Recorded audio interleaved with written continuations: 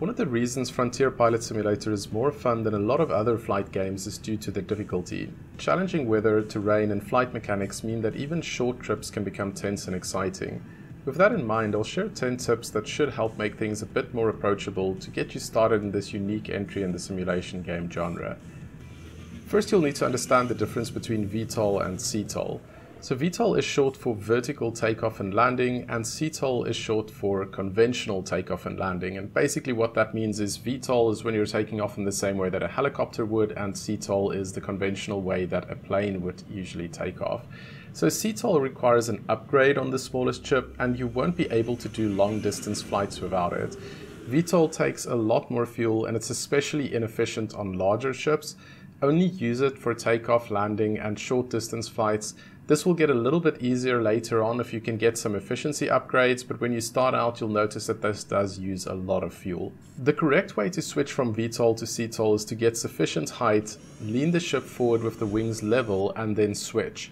Note that it's very easy to destabilize the ship while switching, and when you're switching back, ensure that you're not diving too fast as it's much harder to stop the downwards or falling momentum in VTOL mode.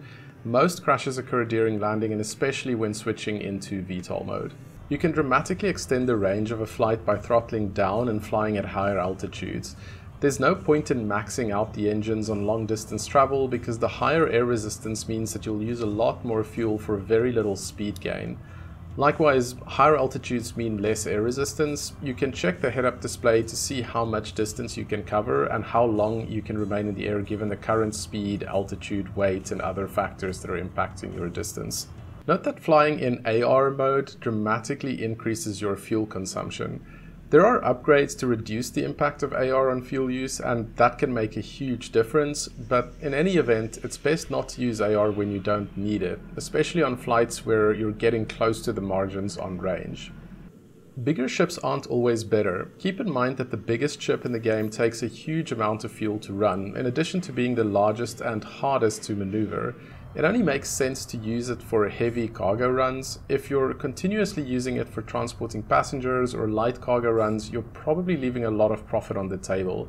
Heavy ships not only take more fuel in CTOL, but it can literally burn tons of fuel if you spend too much time in VTOL during takeoff and landing, leading to higher costs or potentially crashes if you run out of fuel. Of course, you can also upgrade the heavier ships, but some of these upgrades are incredibly expensive early on in the game. This is really something that you should only start looking into later on in the game, as I find that you don't really need the heavy ship to make a lot of profits in Frontier Pilot Simulator. Weight plays a huge role in the game. I once upgraded my ship with larger fuel tanks only to realize that the huge fuel load along with the cargo I was carrying meant that the ship could barely support its own weight in VTOL mode. If you're carrying heavy loads, you want to be extra careful about how and where you switch back into VTOL mode. Level out your ship first and don't carry too much downward momentum when switching over as we discussed in the earlier tips.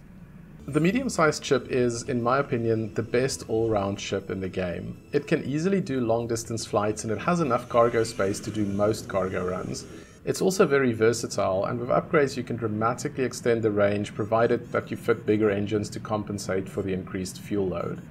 Almost every upgrade has pros and cons. Note that upgrades can increase the weight of your ship, so it's best to experiment with different ships and setups until you find a setup that suits your needs.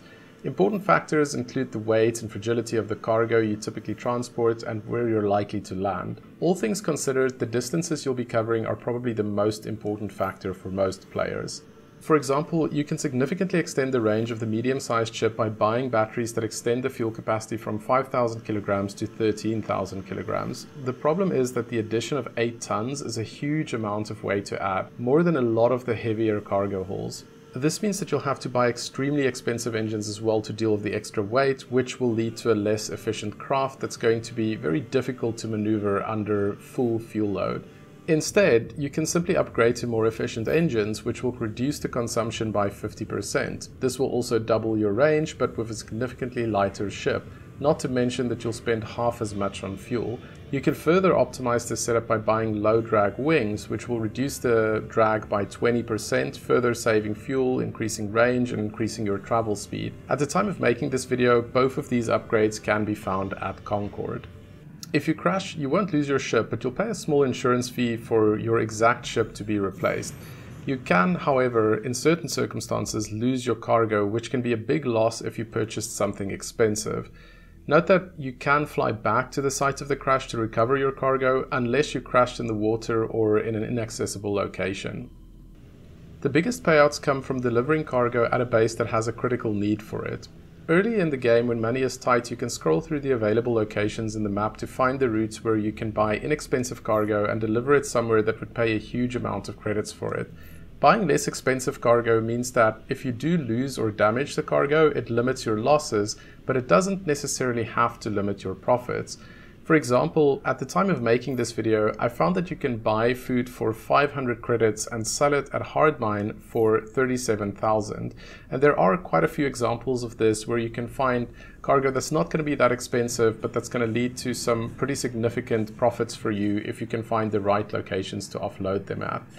So these are my 10 tips to get you started in Frontier Pilot Simulator. If you have any useful tips, feel free to share in the comments below. And as always, if you like this content, please do like and subscribe, and I'll see you for the next video.